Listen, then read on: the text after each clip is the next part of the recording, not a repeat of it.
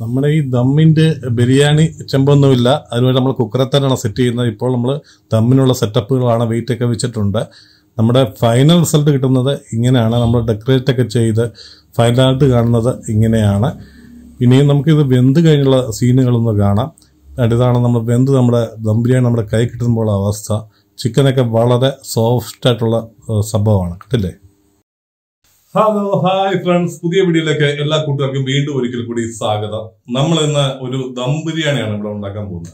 നമ്മുടെ പൊണ്ടാട്ടിയുടെ പിറന്നാളാണ് ഇന്ന് നമ്മൾ ഒരു ദം ബിരിയാണി സിമ്പിളായിട്ട് ദം ബിരിയാണിയുടെ പാത്രമൊന്നും ഇല്ലാതെ സാധാരണ നമ്മൾ കുക്കർ ഉപയോഗിച്ച് വളരെ പെട്ടെന്ന് എങ്ങനെ അടിപൊളിയായിട്ട് ഒരു ദം ബിരിയാണി ഉണ്ടാക്കാമെന്നാണ് നമുക്ക് ഇന്ന് വീഡിയോ നോക്കുന്നത്. നമുക്ക് നേരെ വീഡിയോയിലേക്ക് പോകാം. ഓക്കെ ഗായ്സ് നമ്മളിപ്പോൾ ഒന്നര കിലോ അരിയാണ് റൈസാണ് എടുത്തിരിക്കുന്ന എടുത്തിരിക്കുന്നത്. ഒരു മണിക്കൂർ മുമ്പേ നമ്മൾ കുതിർത്ത് എടുത്തിരിക്കുകയാണ്. പിന്നീട് അതുപോലെ രണ്ട് കിലോ ചിക്കന് നമ്മൾ എടുത്തിട്ടുണ്ട് കഴുകി എടുത്തിട്ടുണ്ട്. അതുപോലെ ചെറിയ ഉള്ളി ഇഞ്ചി വെളുത്തുള്ളി. ഇവ അരച്ച് ചേർക്കാനുള്ളതാണ്. പിന്നെ അത് അതുപോലെ തന്നെ പുതിയനില മല്ലിയില സവാള മൂന്ന് സവാള എടുത്തിരിക്കുന്നത്. രണ്ട് തക്കാളിക്ക ചെറുതായിട്ട് അരച്ച് എടുത്തിട്ടുണ്ട്. പിന്നീട് ഒരു അഞ്ച് പച്ചമുളക് എടുത്തിട്ടുണ്ട്. പിന്നീട് നെയ്യ് ഗരം മസാല എടുത്തിട്ടുണ്ട്. പിന്നെ അതുപോലെ തൈര് നാരങ്ങ ഉപ്പ് ഇവ നമ്മൾ എടുത്തിട്ടുണ്ട്. ഗരം മസാല നമ്മളൊന്ന് പൊടിച്ചെടുക്കുകയാണ്. ആ പൊടി ഉൾപ്പെടെ നമ്മൾ പൊടിച്ചെടുക്കുകയാണ്. ചെറിയ ഉള്ളി ഇഞ്ചി വെളുത്തുള്ളി ഇവയെല്ലാം നമ്മൾ അരച്ച് പേസ്റ്റ് ആക്കുകയാണ്. നന്നായി അരച്ചെടുക്കുക. ഇതുപോലെ പേസ്റ്റാക്കി എടുക്കുക.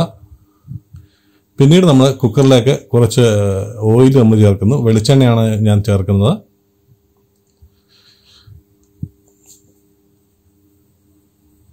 അതിനുശേഷം കുറച്ച് കടുക് ഇടുക.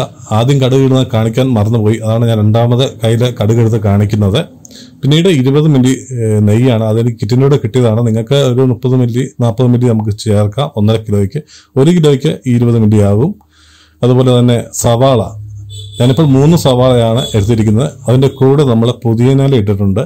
പിന്നീട് നമ്മൾ നടുക കീറിയ പച്ചമുളക് നമ്മൾ ഇട്ടിട്ടുണ്ട്. പിന്നീട് നമ്മൾ ചുവന്ന മുളക് പൊടിയാണ് എടുത്തിരിക്കുന്നത്. ഇപ്പോൾ ഞാൻ രണ്ട് സ്പൂൺ ഇട്ടിട്ടുണ്ട്. ശകലം എരിയൊക്കെ എനിക്ക് ആവശ്യമുള്ളത് കൊണ്ടാണ് ഞാൻ രണ്ട് സ്പൂൺ ഇട്ടത്. നിങ്ങൾക്ക് ഒരു ഒരു സ്പൂൺ ഒന്നര സ്പൂൺ ഇടാം. ഒരു കിലോ എടുക്കുന്നവർക്ക് ഒരു സ്പൂൺ ഇട്ടാൽ മതി. ഇനി നന്നായിട്ട് നമ്മൾ ഈ തക്കാളിക്കൊക്കെ വെന്ത് അല്ല സോറി സവാളയൊക്കെ വെന്ത് വരുന്ന സമയത്ത് നമ്മുടെ പേസ്റ്റ് അങ്ങോട്ട് ചേർക്കുന്നു. ഇതിന് ശേഷമാണ് നമ്മൾ തക്കാളിക്ക ചേർക്കുന്നത്. പിന്നീട് നമ്മൾ പൊടിച്ച മസാലപ്പൊടി നമ്മൾ ചേർക്കുന്നു. ഗരം മസാല അതിനുശേഷം നമ്മൾ തക്കാളിക്ക ചേർക്കുന്നു. ഇനി നമുക്ക് ഒരു രണ്ട് സ്പൂൺ തൈര് നമുക്ക് ചേർക്കാം. പിന്നീട് ഒരു നാരങ്ങ നമ്മൾ പിഴിഞ്ഞ് ചേർക്കുന്നു. ഒരു കിലോ അരി ഇടുന്നവർക്കാണെങ്കിൽ ഒരു മുറി നാരങ്ങ ചേർത്താൽ മതിയാകും. പിന്നീട് നമ്മൾ മല്ലിയില ചേർക്കുന്നു. ഇതിനുശേഷം നന്നായി നമ്മൾ ഇതൊന്ന് വേവിച്ചെടുക്കണം. വേവിച്ചെടുത്ത ശേഷം നമ്മൾ ചിക്കൻ നമ്മൾ ചിക്കൻ ചേർക്കുന്നു. ചിക്കൻ ഇട്ട് നന്നായി ഒന്ന് ഇളക്കിയെടുക്കണം. ഇളക്കിയെടുത്ത ശേഷം അതിന്റെ പരാപരത്തിന് വെള്ളം ഒഴിക്കണം. നമ്മൾ റൈസ് വെള്ളം ചേർക്കുന്നുണ്ട്. അതുകൊണ്ട് നമ്മൾ പരാപരം വെള്ളം ചേർക്കാവൂ. ആ ചിക്കന്റെ നിരപ്പിൽ മാത്രം വെള്ളം ചേർക്കുക. ഒരു രണ്ട് സ്പൂൺ ഉപ്പിടുക. നിങ്ങൾ ഒരു കിലോ അരിയാണ് ഇടുന്നതെങ്കിൽ ഒരു സ്പൂൺ ഒന്നര സ്പൂൺ ഇട്ടാൽ മതിയാകും. പിന്നീട് ആവശ്യമുണ്ട് നമുക്ക് ചേർത്ത് ഇളക്കിയെടുക്കാവുന്നതാണ്. ഇതിപ്പോൾ ഒന്നര കിലോ ആയതുകൊണ്ടാണ് രണ്ട് സ്പൂൺ ഇട്ടത്. ഇനി ഒരു എൺപത് ശതമാനം വേവ് ഇത് നമുക്ക് വേവിച്ചെടുക്കാം. ഏകദേശം ഒരു ഇരുപത് മിനിറ്റ് ഇരുപത്തഞ്ച് മിനിറ്റ് കൊണ്ട് നമുക്കത് വേവിച്ചെടുക്കാവുന്നതാണ്. അതിനുശേഷം നമ്മൾ റൈസ് അതിലേക്ക് ഇടുന്നു. ഇത് കുതിർത്ത അരിയാണ്. കുതിർക്കുന്നതിന് മുമ്പേ നിങ്ങൾ ഒരു നാഴിക്ക് ഒന്നര നാഴി വെള്ളം എന്ന രീതിയിൽ ചേർക്കുക. അതായത് ഒരു ഗ്ലാസ് അരി എടുക്കുകയാണെങ്കിൽ ഒന്നര ഗ്ലാസ് വെള്ളം ചേർക്കുക. കറക്റ്റ് വെള്ളം തന്നെ ചേർക്കണം. കൂടാനും പാടില്ല കുറയാനും പാടില്ല. ആ വെള്ളം ചൂടാക്കി ഒഴിക്കുക. മുമ്പ് നമ്മൾ ചേർത്തതും ചൂടാക്കിയാണ് വെള്ളം ഒഴിച്ചത്. ഒഴിച്ച ശേഷം നമ്മളിത് കുറച്ചു നേരം വേവിക്കുന്നു. വേവിക്കുമ്പോൾ വെള്ളം കുറച്ച് പറ്റുന്നതാണ്. ഞാൻ ഇപ്പോൾ കാണിക്കാം. ഇതേ രീതിയിൽ വെള്ളം പറ്റി കഴിയുമ്പോൾ ഇനിയാണ് നമ്മൾ ദമ്മിനുള്ള സെറ്റപ്പ് ചെയ്യുന്നത്. നമ്മൾ അടപ്പെടുത്ത് ഇതിന്റെ മുകളിലേക്ക് അടയ്ക്കുകയാണ്. അത് ഇതേ വെള്ളം പറ്റുന്ന ഇതേ പരുവത്തിന് നമ്മൾ അടപ്പെടുത്തിന്റെ മണ്ടയ്ക്ക് അടയ്ക്കുന്നു. നല്ല ഒരു വെയിറ്റ് എടുത്തു വെക്കുക. വെയിറ്റ് എടുത്തു വെച്ച ശേഷം നമ്മൾ ലോ ഫ്ലെയിമിൽ ഏറ്റവും കുറഞ്ഞ തീയിൽ ഒരു പതിനഞ്ച് മിനിറ്റ് കറക്റ്റ് പതിനഞ്ച് മിനിറ്റ് നിങ്ങൾ ഉപയോഗിക്കാവൂ.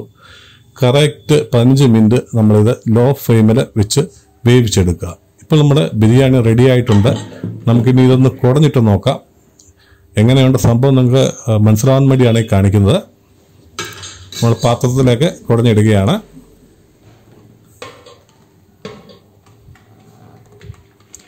കണ്ടില്ല സെറ്റപ്പായിട്ട് വെള്ളമെല്ലാം പറ്റി സെറ്റപ്പായിട്ട് വന്നിരിക്കുന്നുണ്ട്.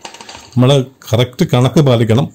ഒരു ഗ്ലാസ് അരിക്ക് ഒന്നര ഗ്ലാസ് വെള്ളം. കുതിർക്കുന്നതിന് മുമ്പാണ് നമ്മൾ അരി അളക്കേണ്ടതും വെള്ളം വെള്ളത്തിന്റെ അളവ് അങ്ങനെയാണ് മനസ്സിലാക്കുന്നത്.